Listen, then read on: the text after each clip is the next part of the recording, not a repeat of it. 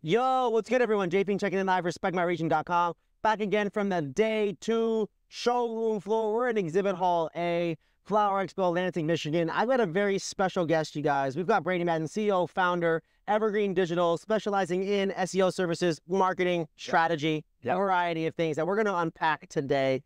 Brady, how you living today, man? I'm doing great. It's been a great expo. Nice weather outside. It's been fun. It's been fun, right? I was commenting on the glow. We've gotten a little tan here. yeah. This Michigan weather has really uh, helped set the tone for this event. A lot of moves, opportunities, retailers walking around, brands exhibiting.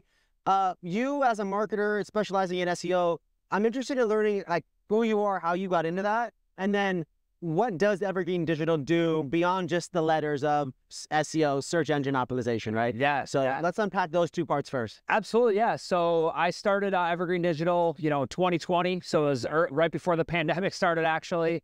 But uh, it was from coming off of a marketing role where I had spent about three years as a marketing director, overseeing a lot of different aspects of marketing. Um, and really started to understand how valuable SEO is in general for the cannabis industry because at the time, you know, this is seven years ago, there wasn't a lot of these ad platforms and other things that were out there that are available now. And even now, they're still pretty restricted. So, right. you know, there's only certain channels that we can focus on. But having spent about 15 years or so in digital marketing as a whole and really kind of honing in on SEO, I really saw a lack of education and experience, really, of people just understanding SEO, Google search engine algorithms, how it all works together, and how it can really work for a dispensary owner specifically. There, I, I call it a social science Mm, because yep. social media, well, one, there's a science to SEO. There's all those various algorithms.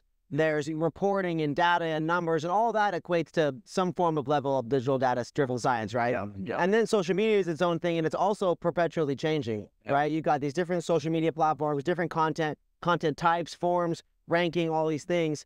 I can imagine that these dispensaries, these brands, they oftentimes feel pretty overwhelmed because there's so much to do yeah. and they only get paid for so much time, right? Exactly. Talk to me about some of the challenges that you've noticed, you know, that retailers go through and specifically what you guys do to overcome them. Yeah, I think some of the biggest challenges really um, are with their menu. You know, it's like if your menu cannot be read by search engines, then you, essentially your whole product inventory is not searchable online. You know, it's like you want to have a searchable online menu. And so one of the biggest challenges I've really seen over the years is that a lot of operators have been working off of iframe menus or even marketplaces. Um, Leafly Weed Maps, you know, there's a number of different marketplaces and things like that. And they get expensive. They get expensive to spend money there. Yeah. They get expensive to have. You're losing money on the order and the exchange, the exactly. transaction, exactly. and you're paying hosting. So you're losing money to you're spending money to host it yeah. and losing part of the revenue. Yeah, exactly. And essentially, it's like it's almost like they're not your customer at a certain point. I say renting.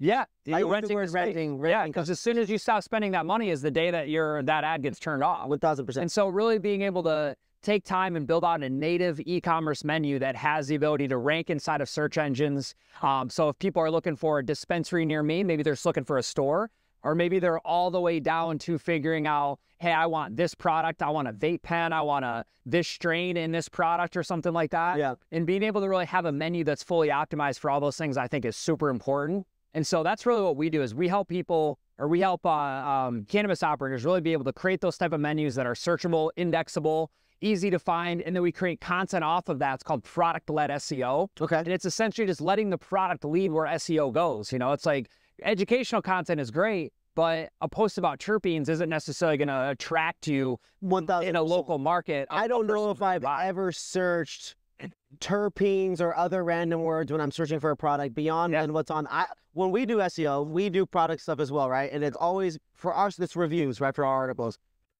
which just has SEO. It's not like we're trying to do it for other people. It's just these things nature naturally have it, right? On the mm-hmm. internet. We do titles. So strain first, because Leafly gets the most strain traffic. Yeah. People don't search brands; they don't know brands. They know strains first historically. Yeah. I don't know. Does that? Do you find that that holds true?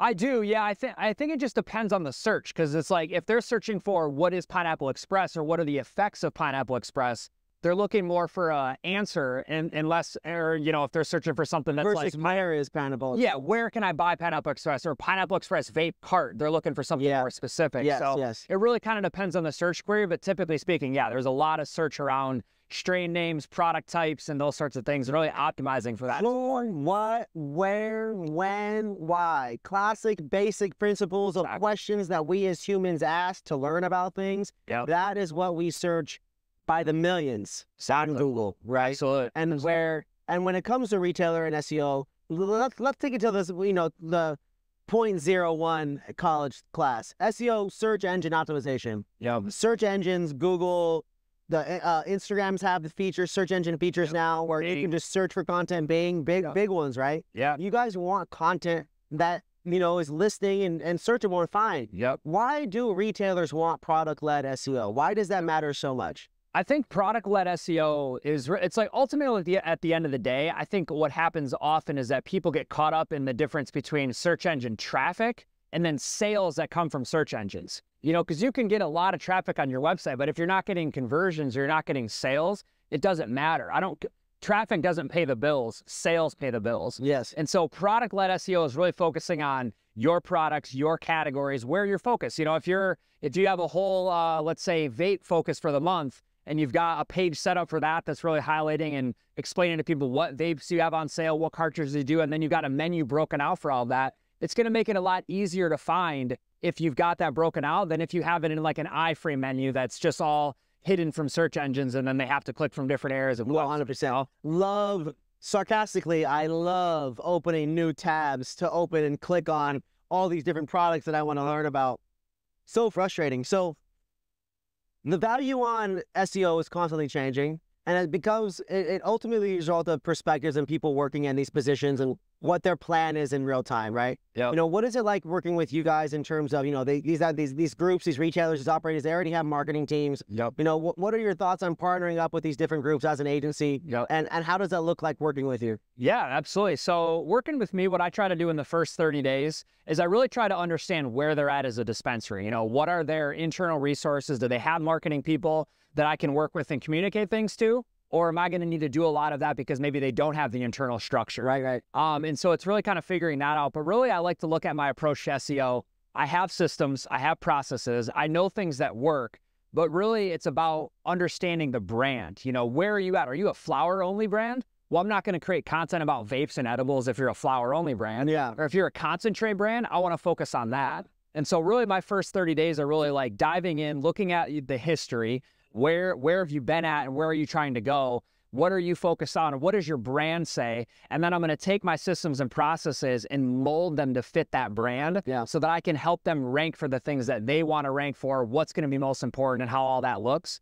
So that's usually the first 30 days just understanding that, setting up the strategy, and then after I get that in place, it's execution. You know, I'm setting I'm setting up a list, I'm looking at everything, I'm checking it with the dispensary owner, with the operator, and then it's like execution time because if you want to start ranking, you have to start making changes to your website. You to need content. You got to get the menu right. You got to get these other, I know FAQs and that, you know, answering questions. I know all that stuff is incredibly powerful to generating the right traffic in specific areas too, right? Yep. So let's just do a little scenario here. I'm a retailer. I do, you know, 150 to 400,000 a month, which is a lot of retailers out there, small local companies, right? Yep. Yep. What is the immediate thing that they should be doing that most of them, you know, it's the menu, right? Yep.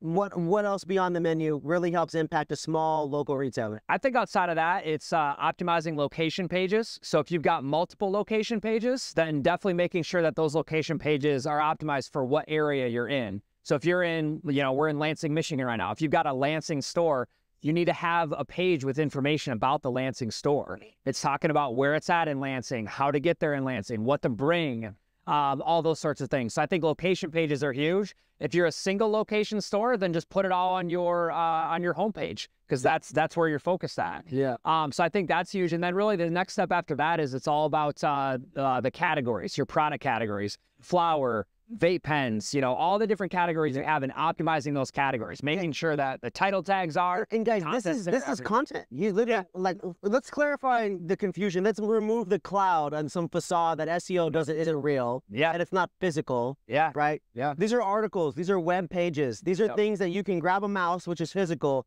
Yep. see something on a screen, click, engage, and something can show up at your house if you're on Amazon or if Yeah. you're on a regular Yeah. small business ordering coffee or whatever it is. These dispensaries, these these these web pages, these articles, these FAQs, Yep. adding words to different sections of the website, that is what SEO is. So not only are you guys paying for the labor of the words, the strategy, mm. but then it's also knowing who, what, where, when, why, when to do it, how it should look, how it should sound. That's a lot of expertise, okay? I really want you guys to, to really understand the value of SEO experts and to stop trusting the $500 a month ones. Let's go ahead and get that out there too. Let's disrupt a little bit. We support freelancers. Yeah. We support small businesses. But what we're not going to do is support charging a fee for deliverables that might be worth it for what that cost is, but are not worth it because of the intangible impact that ultimately that number has. You can't really have great, phenomenal impact at with SEO at those prices. You can't have it over time. But when you're talking cannabis, stuff today, they say yesterday's price is not today's price. Shout out Fat Joe, right?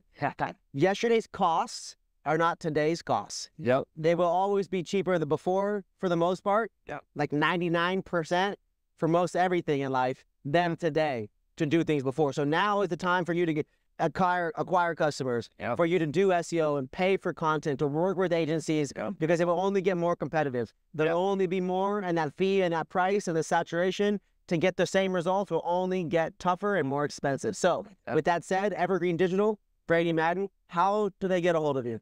Uh, you can reach me on LinkedIn, just Brady Madden. Otherwise, uh, evergreenseoservices.com. Reach out to us on there. We'd love to chat. evergreenseoservices.com. Tap in, reach out, ask some questions. You can reach out to me on LinkedIn. If you guys are watching this on my channel, I'll get you guys in contact. But no matter what, start learning about SEO, educating yourself on the website and the internet, and stop. I'm to say this for everybody stop letting emotional biases, your feelings about Instagram, your thoughts about Google, what you read about Facebook, or what you hear about bigger companies, stop letting that dictate your marketing. Use data, talk to experts, work with people that are winning with it. And of course, to end it all, reach out to uh, reach out to Brady if you guys are cannabis businesses and you need to grow your business and your revenue. All right, we'll see you on the next one. Flower Expo Day 2, my guy. Peace. Appreciate you, dog. Let's Appreciate go. you. Thank you. See you on the next one. Peace.